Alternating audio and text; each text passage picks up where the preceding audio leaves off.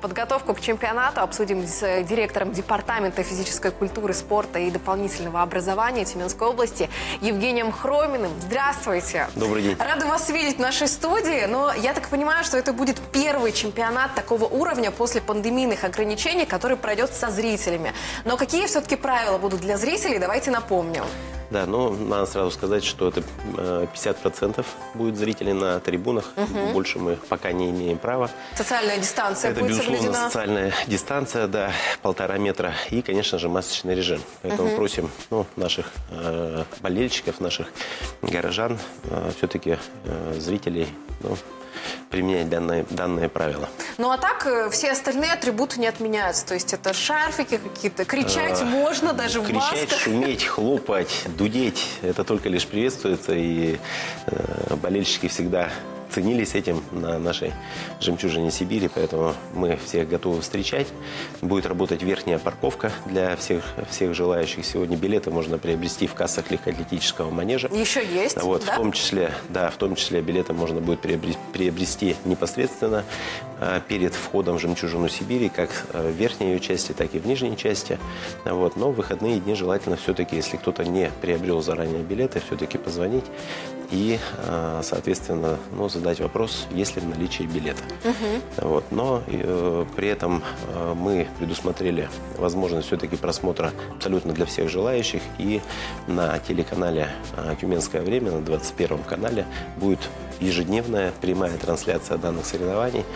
Я думаю, что это тоже очень интересно и можно очень близко, значит, воочию увидеть э, наших титулованных спортсменов, которых будет достаточно большое количество, начиная от нашей э, легендарной всех времен и народов лыжницы, сегодня президента Федерации лыжных гонок России Елены Вяльби, которая является трехкратной олимпийской чемпионкой, пи- пи- э, 15-кратной чемпионкой мира и 45-кратной чемпиона, чемпионкой этапов Кубка мира.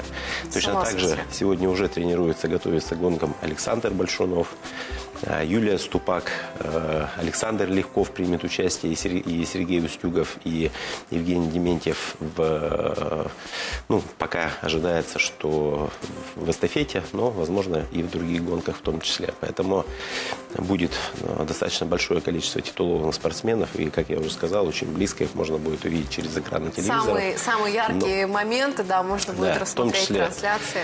А, Да, мы готовы к встрече болельщиков, как я уже сказал, в 50% количестве. Будут работать волонтеры, будут про- проводиться программы для болельщиков. В том числе будет предоставлена возможность немножко подкрепиться, покушать, а, в том числе а, купить сувенирную продукцию, ну и поучаствовать в конкурсах, опять же, разыгрывая и, значит, э, сувенирную продукцию, ну и другие э, призы, которые нами запланированы. Площадка уже готова, вы говорите, что тренировки уже идут, да? Тренировки идут, да, и у нас 26 числа, собственно, как раз тренировочный день у всех лыжников, а 27 числа состоится первое соревнование. В целом будет разыграно э, 12 комплектов, 12 да? комплектов, да, значит, это в э, командных соревнованиях и 8 комплектов в индивидуальных гонках. Э, наша э, Тюменская область будет представлена 27, э, 27 участников примет участие. Это, безусловно, наш э, легендарный Денис Спецов, это Глеб э, Ретивых, это Якимюшкин Иван, это Сорина Татьяна, собственно, объявляя последних, это наши э, призеры последнего чемпионата мира, э, э, серебряные, брон- бронзовые призеры, поэтому, конечно, мы будем болеть за всех наших Наша гордость, спортсменов. Я думаю, что они поборются с, титулов- с титулованными спортсменами нашей сборной России. Снег, снег, что будете делать с ним, если он вдруг начнет таять? Это не проблема для чемпионата? А знаете, э, я тоже занимался лыжами, и вот это как раз погода, это самая комфортная погода.